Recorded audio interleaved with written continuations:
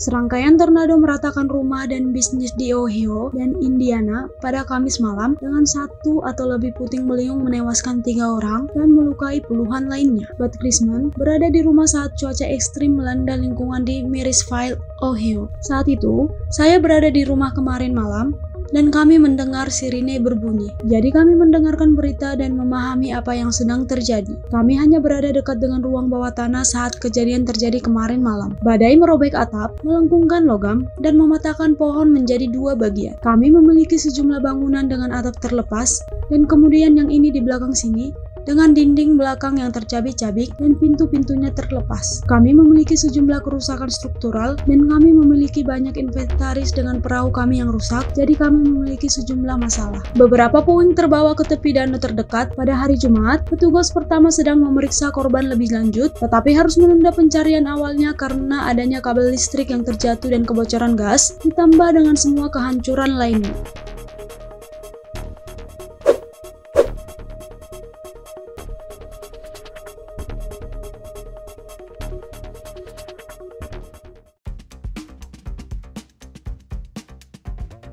Benteng Tani, pupuk organik solusi stabilisasi ekosistem tanah.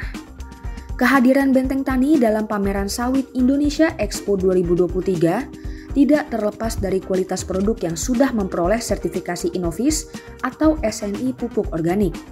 Meningkatkan hasil panen, pengganti urea atau ZA, membantu penyerapan fosfat dan KCl, mengurangi biaya pupuk, menjaga kestabilan hasil panen, mencegah dan mengatasi busuk pangkal batang atau ganoderma. Benteng Tani solusinya.